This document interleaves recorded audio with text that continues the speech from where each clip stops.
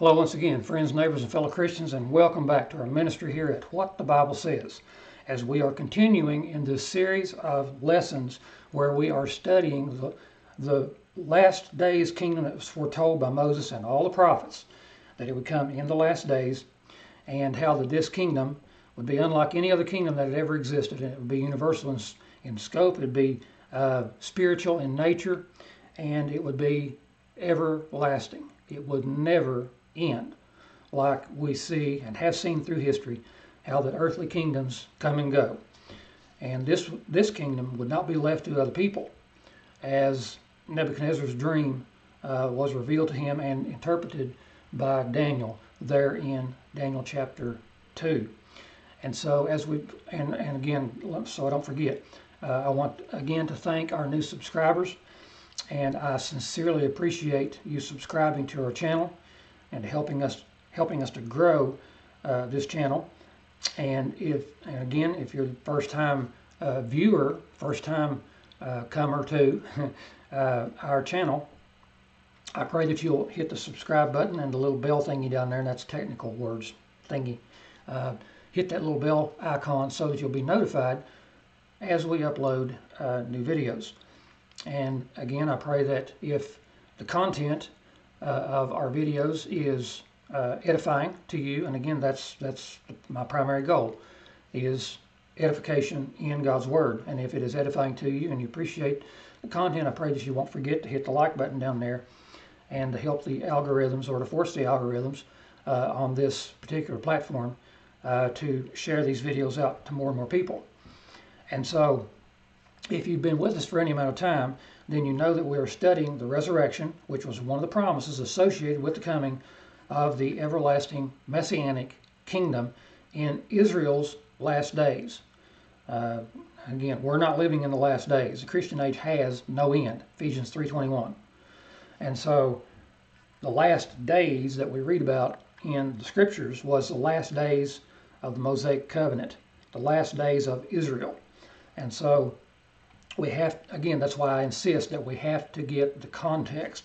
And so it was predicted, it was foretold by Moses and all the prophets, and we'll see a verse that says that in, shortly here, Lord willing, that uh, that this resurrection would accompany, along with the judgment and the second coming, but this this would be the accompanying constituent elements of the kingdom, the messianic, everlasting kingdom. And so, studying the resurrection from 1 Corinthians 15, we are studying through parallelism what Paul taught to the Romans. We're in Romans chapter 8.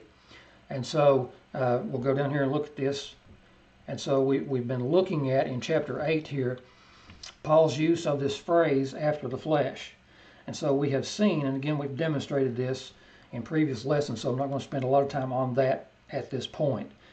But we just look at, for instance, verse 8 they that are in the flesh cannot please God. So it's obvious he's not using in the flesh as referring to being physically, biologically alive, because that would be foolish to say, well, because I'm physically alive, then I cannot please God. So it's obvious he's using that phrase, this phraseology, to refer to something else, which we have demonstrated as uh, life under the covenant of Moses and it, it uh, entails as well as what Jesus told Nicodemus in John chapter 3 that the, the, uh, the Jews, Israel, they were born of the seed lineage of Abraham. They were born, physically born into the kingdom. All right? And so that entails that as well. And so we have to understand that. And that's what Jesus was teaching the Sadducees that when this new covenant would come in fulfillment, that the kingdom, the spiritual kingdom, the everlasting kingdom, that people would not gain entrance into this spiritual kingdom through physical birth. And that's what Jesus was telling Nicodemus. So again, this we have to understand these spiritual concepts, and we have to understand this pictorial, parabolic type of language used by Hebrews. All right, so, and then he says, verse 9, but you are not in the flesh. Well, again, he's not writing to spirits All right, so again, that demonstrates uh, that he's not using this phrase in the flesh as referring to being physically alive versus physically dead. Verse 10 if Christ is in you, the body is dead. And we've demonstrated that that's the body of sin that he talked about in chapter 6. It's parallel with the body that was being sown, the, the natural body that was being sown, 1 Corinthians 15. If Christ is in you, and he, in the previous chapter he said, you have become dead to the law by the body of Christ. So it's the same concepts. All right, so then in our verse, in verse 11, and we touched on a little bit of this in the last lesson. But if the Spirit of Him that raised up Jesus from the dead dwell in you, he that raised up Christ from the dead shall also quicken your mortal bodies by his Spirit that dwelleth in you. Now, hang on, I'll raise that up a little higher on the screen there. All right, so verse 11. Now, if the Spirit of Him, okay, who is Him, who's the pronoun Him referring to, who raised up Jesus from the dead? Well, obviously, that would be the Father. So this is Paul is talking about the Father's Spirit. In other words, Holy Spirit, right? That seems simple enough to understand. And so this is what Peter was teaching on the day of Pentecost when he said, You men of Israel, hear these words. Jesus of Nazareth, a man approved of God among you by miracles and wonders and signs which God did by him. See, God did those things through him in the midst of you, as you yourselves also know. Him, being delivered by the determinate counsel and foreknowledge of God, you have taken and by wicked hands have crucified and slain. Now notice, whom God hath raised up, having loosed the pains of death, because it was not possible that he should be holden of it. Now, there's a whole whole other lesson in verse 24 right there that we don't have time to develop. Maybe we'll save that for uh, the future. But God, that's the point. God raised him up, and he what he has loosed, thrown down, luo. He has thrown down the throes, which infers a birth, pangs anyway, but the throes of death. And see, he was in Hades. So again, I'm throwing you out some bones there. there. There's a whole lot in that verse right there and that it was not possible that he should be held by it. All right, but then Peter goes on and says in verse 32 this Jesus, whom God raised up, say again, the Father raised him up. And they, the apostles, they were all witnesses to that fact. Now, this is interesting too, that when we come to Acts chapter 13, this is when Paul and Barnabas came to Antioch. And again, the, Paul's sermon here is an entire uh, study, an entire lesson within itself, and perhaps we'll do that sometime in the future as well, because there is so much good stuff that Paul uh, presents here at the synagogue. And so he says, Men and brethren, children of the stock of Abraham, and whosoever among you feareth God, to you is this word of salvation sent. And just kind of hang on to that right there as we go on. To you is the word of this salvation sent. Well, who? Israel, the stock of Abraham. For they that dwell at Jerusalem and their rulers, because they knew him not, nor yet the voices of the prophets. Nor yet the voices of the prophets. Why did they crucify Jesus? Because they didn't know the voices of the prophets. You see that? Why is man today stuck in this futurist eschatology because he doesn't know the voices of the prophets. And he is unaware of the fact that the voices of the prophets, i.e., the Old Testament, is the foundation of the New Testament. And again, I know I'll keep reiterating that, but hopefully, if I say it enough, it'll stick and you'll remember that. And you'll realize that Holy Spirit, what we have as the New Testament, is Holy Spirit's quotation, interpretation, and application of his own words spoken through the voices of the prophets. All right, for they that dwell at Jerusalem and the rulers, because they knew him not, nor yet the voices of the prophets, which are read every Sabbath day, they have fulfilled them how? In condemning him. You see that? The voices of the prophets foretold that the Jews would, would kill Jesus. And they merely fulfilled what the prophets said.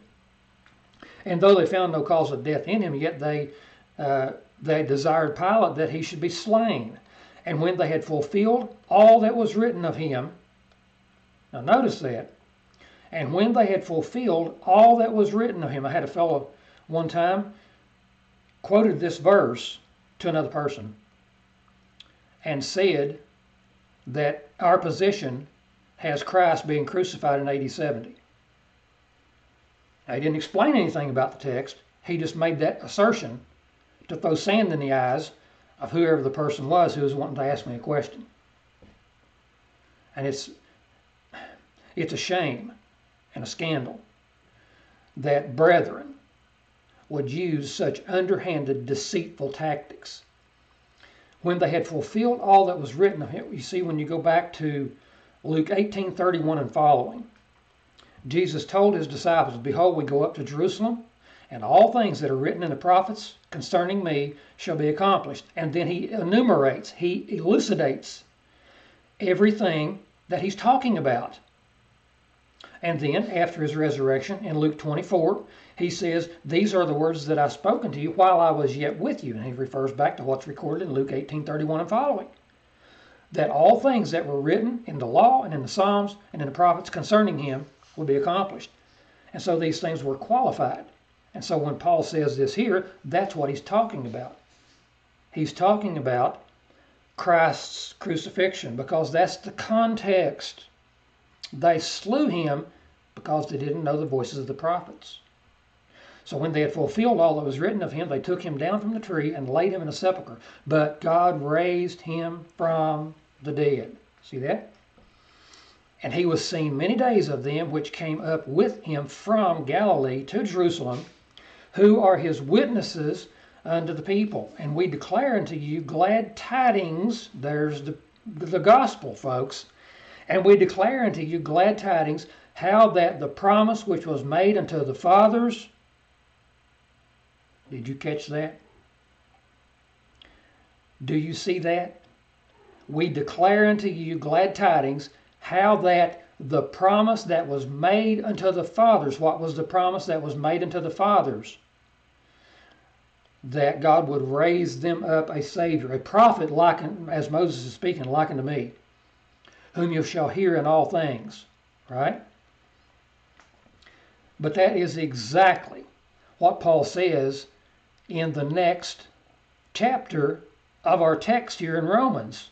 For I could wish that myself were accursed from Christ for my brethren, my kinsmen according to the flesh, who are Israelites, to whom pertains the adoption. And we have the adoption in verse 15 here of our text and the glory, and the covenants, and the giving of law, and the service of God, and the promises, whose are the fathers. You see that? These promises pertain to the fathers. And that's what he says here. Whose are the fathers, and of whom, as concerning the flesh, Christ came, who is over all, God blessed forever. Amen.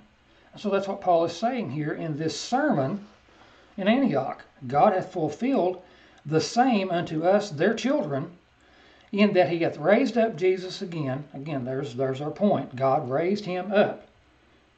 Paul says, as it is also written in the second psalm, Thou art my son, this day have I begotten thee. And Paul quotes that verse, that uh, prophecy again in his letter to the Hebrews there in chapter 1. And so, as we notice then, when Paul was before Agrippa. He said, And now I stand and am judged for the hope of the promise made of God unto our fathers. So again, there he's saying the same thing that he said in the sermon at Antioch and that he records in our text here in just a little bit later in chapter 9. He says, now I stand and am judged for the hope of the promise made of God unto our fathers, unto which promise our twelve tribes instantly serving God day and night hope to come. For which hope's sake, King Agrippa, I am accused of the Jews. What's he talking about? Why should it be thought a thing incredible with you that God should raise the dead? So he's talking about the resurrection. Now, the King James translators uh, blundered here. I don't know if it was intentional. Uh, I, I don't know. But there is no subjunctive verb in that verse.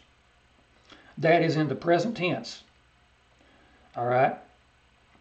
So what Paul said was, why should it be thought a thing incredible with you that God is raising the dead ones? And it's nekrous, plural, dead ones. But that's what he said. And see, when you back up in Acts there, uh, back even to chapters 20 and 21, this is when, especially in 21, this is when the tumult was, was made. And then in 20, chapter 22 is when Paul uh, divides the crowd, as it were. They were Sadducees and, and, Pharisees. And he said, You know, I'm a Pharisee. And uh, they also, and we've read this, they also allow that there is about to be a resurrection of the dead, both of the just and the unjust. And so at first, they thought Paul was, was a really fine fella. You know, he agrees with us, but then something changed, and that is they, they figured out that the nature of the resurrection was not what they perceived it to be. And so they disagreed with Paul, and they, they're trying to kill him, and so he's had to appeal to Caesar. And so then Paul says here to Agrippa, well, why, why is this such an incredible thing with you that God is raising the dead? Present tense.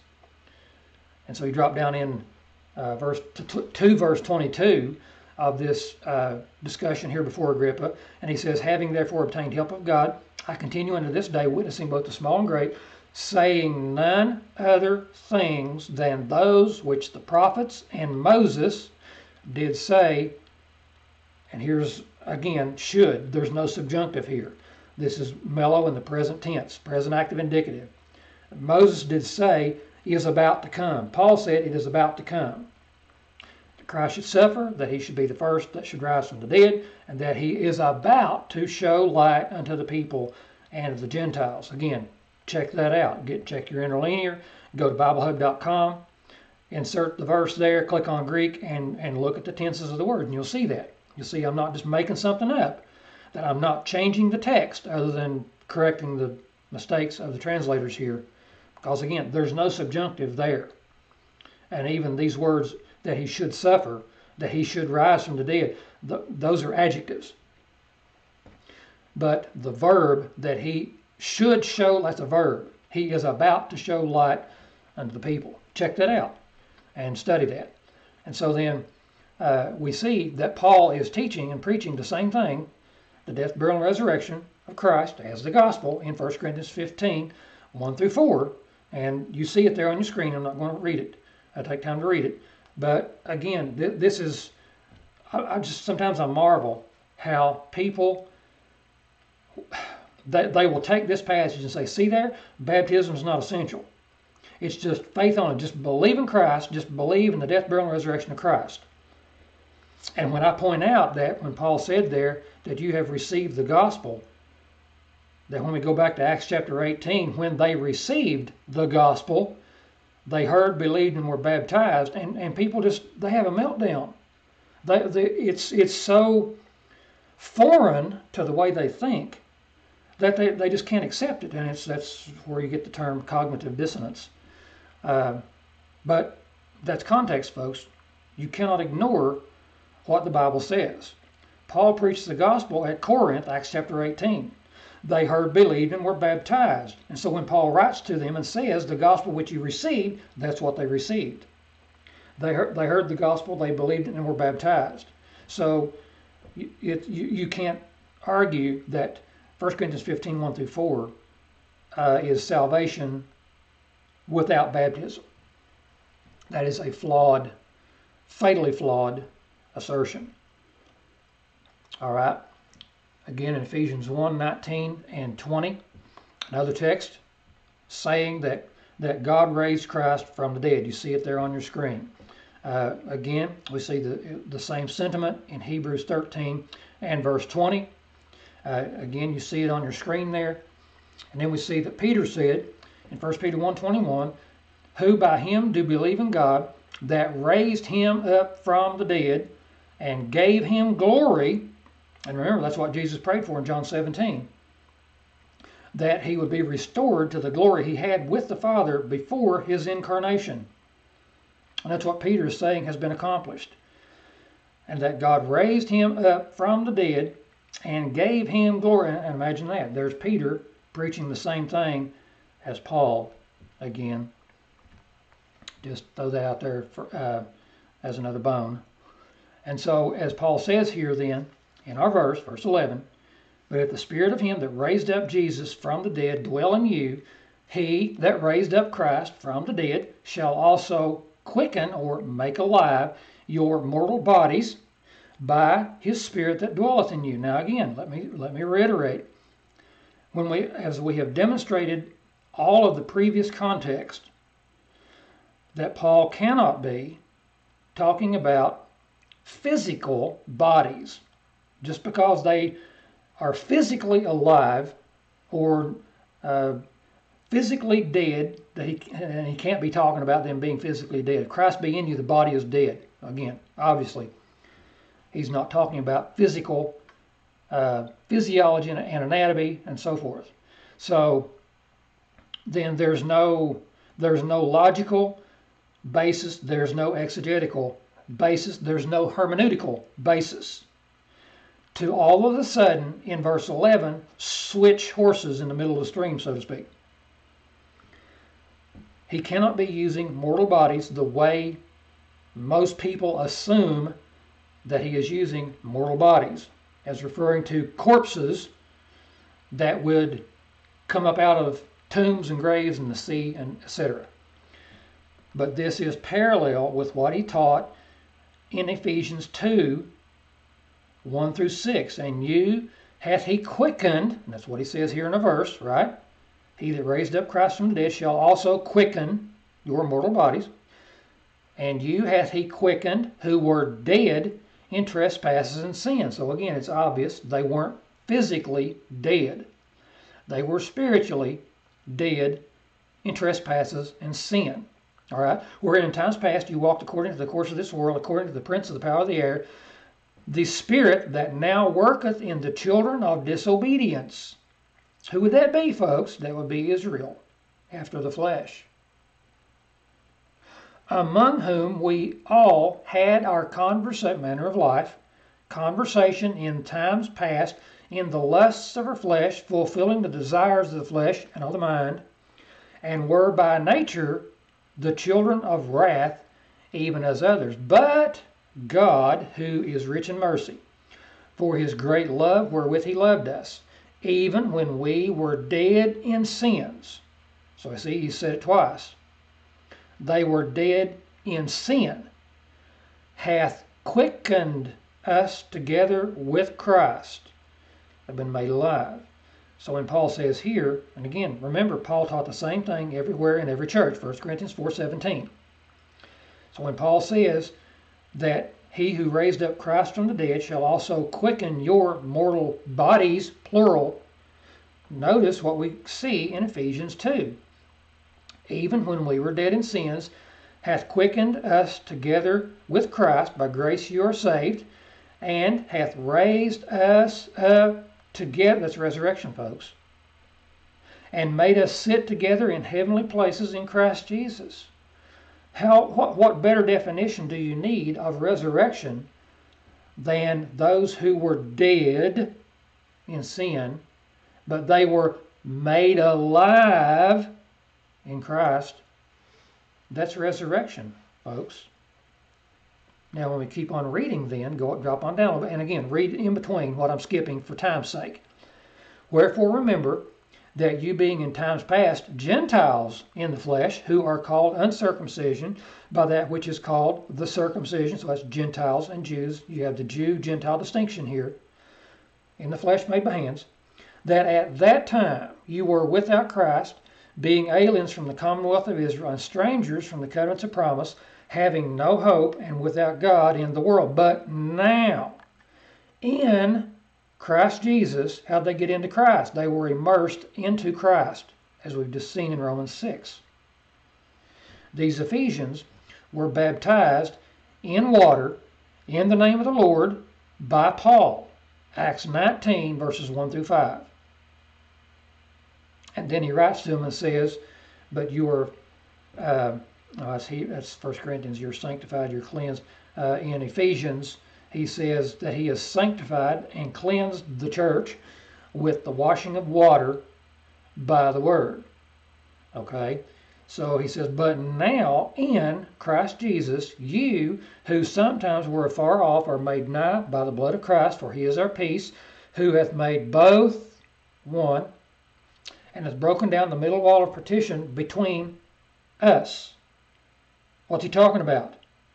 He's talking about that wall of partition that divided the court there, the temple, between the Jew and the Gentile.